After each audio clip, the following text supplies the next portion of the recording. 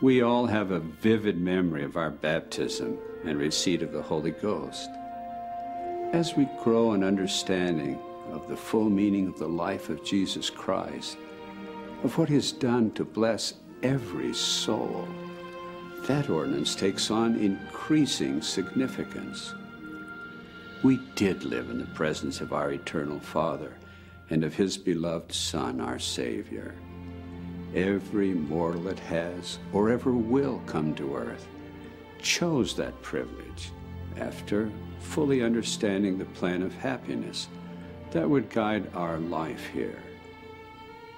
Only those who make and keep the covenant of baptism, diligently obey his commandments, and receive all of the other necessary ordinances will have a fullness of joy on earth and will live eternally in the celestial kingdom.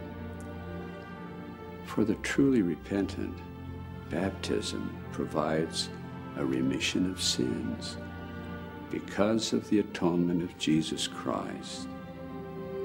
The Savior said, Except a man be born of water and of the Spirit, he cannot enter into the kingdom of God.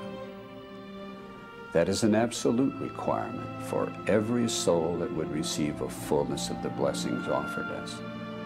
That is why we perform in holy temples the ordinance of baptism vicariously for our deceased ancestors. The Master himself was baptized to fulfill all righteousness. He is our perfect example in all things.